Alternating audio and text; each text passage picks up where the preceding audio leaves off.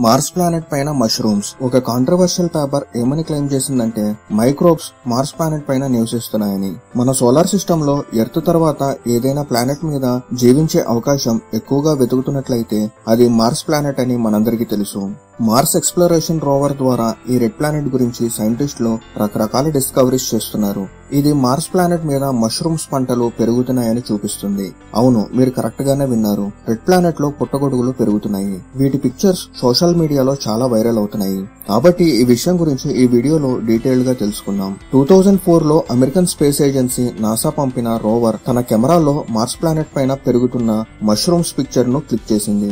వీటిని ప్రతి ఒక్కరూ చూసి ఆశ్చర్యపోతున్నారు. వాస్తవానికి రెడ్ ప్లానెట్ సర్ఫేస్ పైన ఇప్పటి వరకు జరిపిన పరిశోధనలన్నీ మార్స్ ప్లానెట్ యొక్క వాతావరణం ఇంకా జీవించడానికి రెడీగా లేవని చూపిస్తుంది. అటువంటి పరిస్థితుల్లో రెడ్ ప్లానెట్ సర్ఫేస్ పైన మష్రూమ్స్ పెరుగుదల సైంటిస్టులకు సర్ప్రైజింగ్ ఫినామినన్గా ప్రూఫ్ అవుతుంది. సో నాసా సైంటిస్టులు కొన్ని ఇయర్స్ క్రితం తీసిన ఈ పిక్చర్స్ను తిరిగి స్టడీ చేశారు. దీని ద్వారా మష్రూమ్ షేప్లో కనిపించే ఆ థింగ్స్ హెమటైట్ కాంక్రీషన్స్ అని కనుక్కున్నారు. ఐరన్ మరియు ఆక్సిజన్ మిక్స్చర్ నుండి ఏర్పడే ఈ హెమటైట్ కాంక్రీషన్లను ప్రొడ్యూస్ చేయడానికి ఐరన్ అండ్ ఆక్సిజన్ అవసరం. ఇటువంటి హెమటైట్ కాంక్రీషన్లు రౌండ్ షేప్లో ఉంటాయి. ఇంకా లోపల పెద్ద మొత్తంలో మినరల్స్ ఉంటాయి.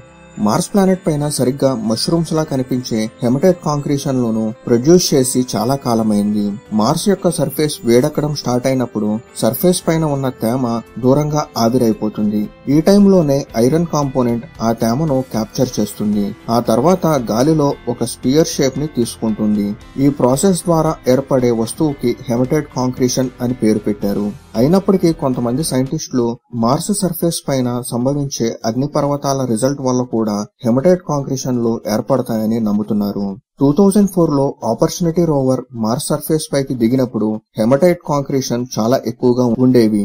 ఈ ఆబ్జెక్ట్ మార్స్ ప్లానెట్ చుట్టూ ఉంది.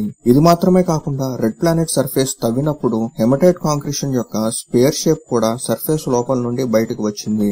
అటువంటి పరిస్థితుల్లో మార్స్ యొక్క సర్ఫేస్ పైన హెమటైట్ కాంక్రీషన్ గ్రోత్ ఒక కెమికల్ ప్రాసెస్ అని సైంటిస్టులు నమ్ముతున్నారు. సో ఈ హెమటైట్ కాంక్రీషన్ జీవితానికి సంకేతం కాదు.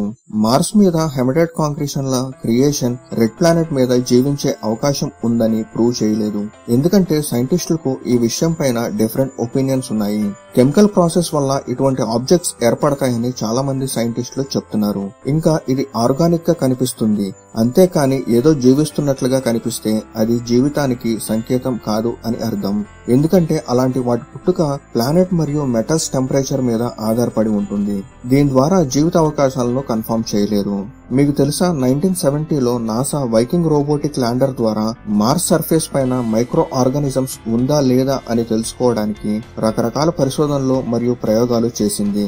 ఆ టైంలో రోబోటిక్ ల్యాండర్ మార్స్ సర్ఫేస్ మీద రేడియో యాక్టివ్ కార్బన్ ఫోర్టీన్ కెమికల్ని ఉంచారు. దీని ద్వారా మార్స్ సర్ఫేస్ పైన ఏదైనా జీవులు లేదా సూక్ష్మజీవులు ఉంటే అది రేడియో యాక్టివ్ కార్బన్ ఫోర్టీన్ను అబ్జర్వ్ చేస్తుంది అని తెలుసుకోవచ్చు. ఈ ఎక్స్పెరిమెంట్ టైంలో మార్స్ మట్టిలో ఎలాంటి జీవులు కన్ఫర్మేషన్ లేకపోతే రేడియో యాక్టివ్ కార్బన్ ఫోర్టీన్ కూడా గాలిలో నెమ్మదిగా హైడ్ అయిపోతుంది. ఏదేమైనా ఎక్స్పెరిమెంట్ టైంలో నాసా రోబోట్ పనిచేస్తున్న రూమ్ సడన్గా హీట్ని పెంచడం స్టార్ట్ చేసింది. పెరిగిన హీట్ కారణంగా సూక్ష్మజీవులు చనిపోతాయని సైంటిస్టులు భావించారు. కానీ ఆ ఎక్స్పెరిమెంట్లో సైంటిస్టులు ఊహకు మించిన స్ట్రేంజ్ ఫినామినన్ జరిగింది. రోబోట్ ఎక్స్పెరిమెంట్లు చేస్తున్న రూమ్లో కార్బన్ ఫోర్టీన్ను ఉంచిన తర్వాత మార్స్ ప్లానెట్ దానితో రియాక్ట్ అవ్వడం స్టార్ట్ అయింది. ఈ రియాక్షన్ కారణంగా మట్టిలో కార్బన్ ఫోర్టీన్ సైజ్ ప్రీవియస్తో కంపేర్ చేస్తే పెరగడం స్టార్ట్ అయింది. అయితే సైంటిస్టులు మార్స్ వాతావరణం కారణంగా కార్బన్ ఫోర్టీన్ మట్టిలో కలిపిన వెంటనే ఎండ్ అవుతుంది అని సైంటిస్టులు బిలీవ్ చేశారు. చివరికి రూమ్ టెంపరేచర్ చాలా పెరిగింది. రూమ్ లోపల వాటర్ ఉంటే అది కూడా బాయిల్ అవుతుంది. నాసా చేసిన ఆ ఎక్స్పెరిమెంట్ క్లియర్ రిజల్ట్ ఇవ్వలేదు. అయినప్పటికీ ఆ ఎక్స్పెరిమెంట్ గురించి సైంటిస్టుల మధ్య తేడాలు ఈ రోజుకి కొనసాగుతున్నాయి.